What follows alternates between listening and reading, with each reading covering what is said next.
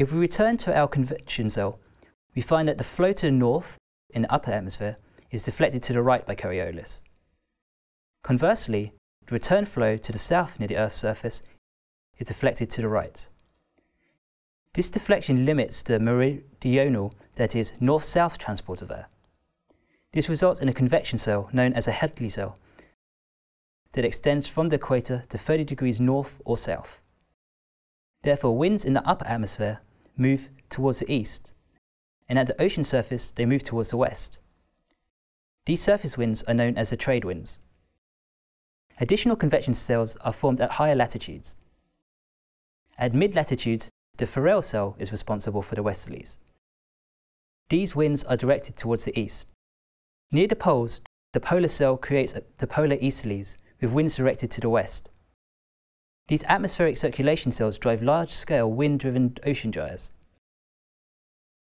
As shown in the animation of the global ocean, these gyres typically form surface circulation systems that are dominated by intense narrow boundary currents on the west side of the ocean basin and broader, weaker return flows on the eastern side of the ocean basin.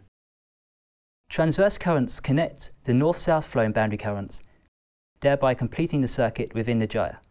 For example, the Gulf Stream is the dominant western boundary current in the North Atlantic, while the Kuroshio is the dominant western boundary current in the North Pacific. The Brazil current and the East Australian current are the dominant western boundary currents in the South Atlantic and South Pacific. The Agulhas current is a dominant western boundary current in the Indian Ocean. Another dominant current in the southern hemisphere is called the Arctic Circumpolar Current. This current is unique in that it circles the globe. The surface currents on either side of the equator are dominated by the westward flowing north and south equatorial currents. They are separated by an equatorial countercurrent which flows to the east. The question arises as to how the gyres form.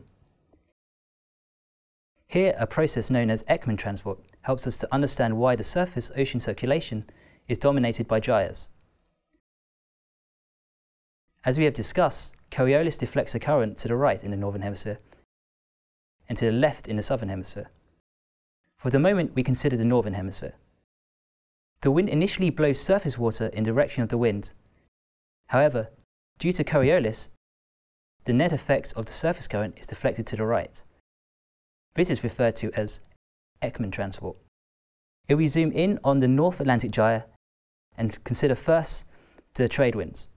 These winds blow towards the west on the southern boundary of the domain under consideration. Due to Ekman transport, the water is deflected to the right. Similarly, if we consider the westerlies blowing towards the east on the northern boundary of the domain, again, due to Ekman transport, the resulting surface currents are deflected to the right.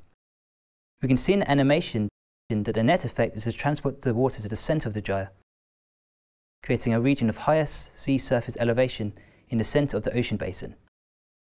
We refer to this as a high in the animation. Associated with the sea surface pressure gradient is the geostrophic current. As we found in the case of the weather map, the current is along the isobars. This results in a strong surface current in the direction of the wind. While we might have anticipated this result, it is a geostrophic effect which is causing this. Due to the variation of Coriolis with latitude, Strong western boundary currents are formed through a process known as westward intensification. Associated with this, the high pressure center is shifted westward. In the North Atlantic gyre, the resulting current is known as the Gulf Stream. Similar gyres are also formed in other basins as we have discussed above. If we look at the subpolar gyre, which is located in the North Atlantic gyre, we find that the southern boundary of the gyre is forced by the westerlies, and the northern boundary at about 60 degrees north is forced by the polar easterlies. In this case, Ekman transport results in a low pressure system at the center of the gyre. The resulting geostrophic flow is counterclockwise around the low. However, due to the variation of Coriolis with latitude, we again find westward intensification. Hence the subpolar gyre in the Atlantic and the circulation in the Gulf of Alaska in the Pacific both form strong western boundary currents but a sense of surface circulation is opposite to that of the mid-latitude gyres. These systems are responsible for the circulation of the upper ocean to depths of up to 1,000 meters, and they play a major role in moderating the Earth's climate. For example, the Gulf Stream plays an important role in transferring heat northwards, such that northern Europe experiences milder winters. However, Ekman transport due to the wind only provides part of the explanation for the oceanic circulation.